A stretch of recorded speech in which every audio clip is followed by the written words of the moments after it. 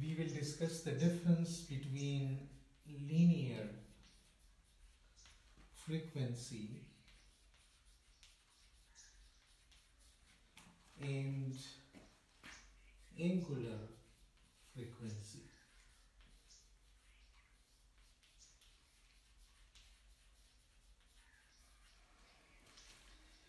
Now as I know that linear frequency we define is the number of cycles the number of cycles which are passing through a certain point in a unit time which we call one second. So the number of cycles passing in one second through a certain point is called linear frequency. Let's say this is point and from this point let's say how many cycles are passing? This cycle and this cycle they are the same. But here we are saying that how many are passing through this point in one second.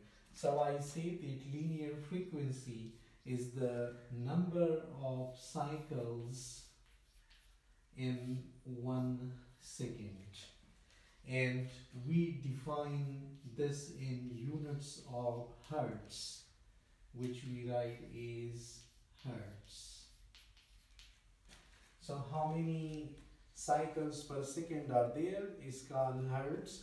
And now angular frequency I will take this one. This is also one cycle. So in angular frequency how many rotations are completed. How many cycles how many rotations are completed in one second?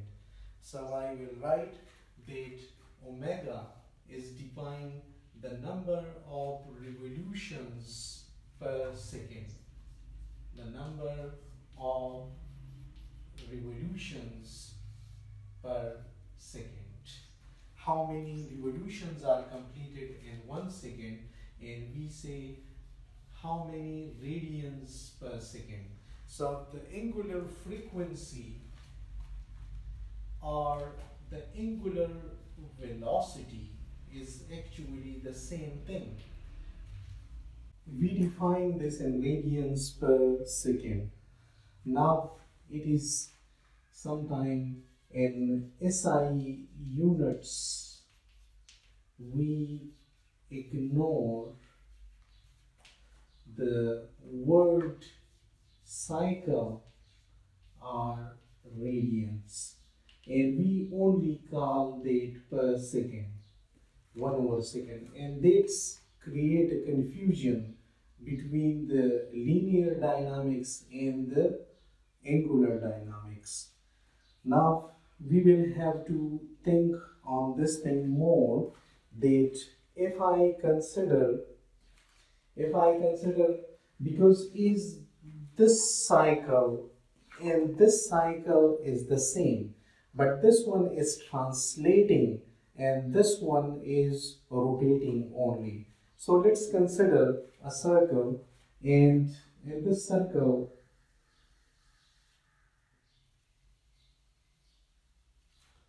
okay let's say we are having 2 pi radians so in one cycle we mean one cycle we mean that it will start from here and it will go on all this and it will reach here. So one cycle that we considered in nu is nu is equal nu is equal to one cycle per second. We call this is linear frequency. So in one cycles per second we are actually covering 2 pi radians. Because in one cycle we are having as a whole 2 pi radians. And we call this is 1 hertz and in in angular frequency in angular frequency, we will call this is 1 radian per second.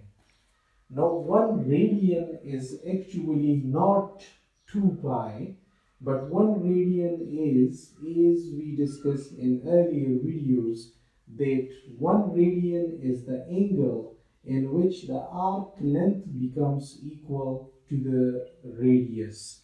So that will be means omega is taking a less quantity here, 1 radian, while this one is covered in 2 pi radians.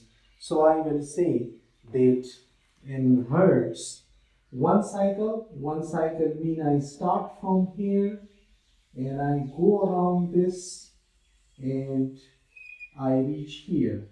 So I have completed one cycle while in radians this is one radian. If this one radian is fast in a second, then another one radian is fast in a second, another, another, and another. So all these radians becomes in one revolution we are having 2 pi radians. So one revolution 2 pi radians while here we are considering a complete circle so I can write that I can write that omega is 2 pi times greater greater than nu. So nu is the linear one and linear one is in one circle only one while omega is in one circle is giving 2 pi. So omega is always 2 pi times greater than nu. So I can write that omega is equal to nu but 2 pi times greater than that one because omega is 1 radian per second. 1 radian is this much. Then in the whole circle it will become 2 pi radians. So comparing it with this one, we can write that this will 2 pi radians for the linear frequency in one cycle. We are having 2 pi radians while for omega it is 1 radian per second and 1 radian is when the arc length become equals to this. So we will have this thing omega equal 2 pi times nu this is the ratio this is the ratio of the angular frequency to the linear frequency which is 2 pi. Here we can now understand the very basic difference between the the difference the difference between the difference between h and h bar we know h is the Planck constant and h bar is called the reduced Planck constant. So we can understand this difference here very well that is from the Einstein's relation that E is equal to h times nu. Now nu is the linear frequency. What is h? h is h is called the Planck constant Actually, the Planck constant is giving us the equality of this equation. Means energy is proportional to nu. Now the proportionality constant is actually h. So h actually relates that a photon of this much frequency will possess how much energy. So it gives us the energy of that frequency photon or that frequency radiation. We can write this one in terms of the angular is E is equal to h bar omega which is which is h bar is then h over 2 pi because we know because we know that here if I multiply this with 2 pi and I divide by 2 pi then 2 pi nu is equal to omega and h by 2 pi I write is h bar which I call the reduced the reduced Planck constant. The reduced Planck constant. Now here we will have to see that h we write in linear dynamics while h bar we write in angular dynamics. And we will prove uh, in another video that for the energy it doesn't matter whether it is in linear dynamics or it is in angular dynamics. So omega is related means omega is the angular dynamics so h bar is the angular dynamics terminology now let's understand this thing that e is h is equal energy per unit frequency for unit radiations. So this is the ratio of the energy of that much frequency radiation and I can write this one energy is in joule and nu is in cycles cycles per second so I can write that this is joule second per cycle. So I will have to write this one with this.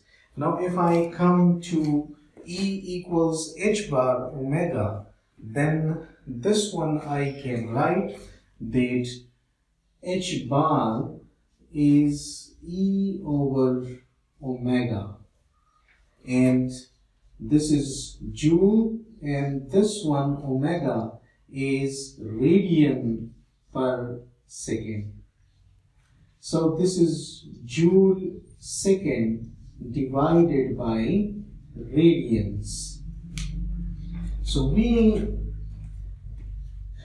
we in SI units we normally neglect here that this one H is joule second per cycle and H bar is actually joule second per radian and now the 2 pi vectors will come in that H is actually equal to H over 2 pi. So that's why we call this one is the reduced Planck constant. So we say that H is equal to 6.6025 10 power minus 34 and as we write joule second with this one then this is understood that this is per cycle. And similarly we will divide this value. When we divide this value by 2 pi, then the 2 pi actually means 2 pi radians.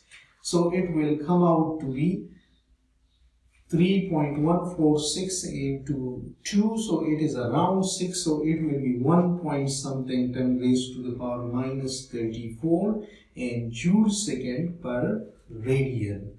So this way we will have to differentiate between the linear dynamics are the translational dynamics and the angular dynamics. So H is something which is related to the linear dynamics and H bar is something which is related to the angular dynamics. So here we will have to differentiate between the cycles as well as the radians.